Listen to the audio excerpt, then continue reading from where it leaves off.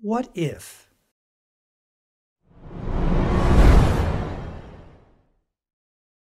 What if you could control what the people in your city did to stop COVID?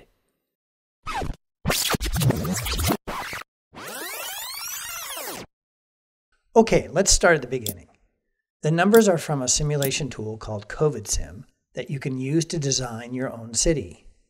You can select different safety measures like vaccines, masks, and distancing to see how they could have and still can make a difference to the number of people impacted in your community.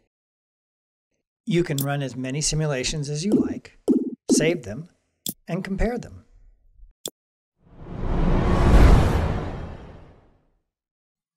Learn more about the models and the science behind the simulation while you explore COVIDSim.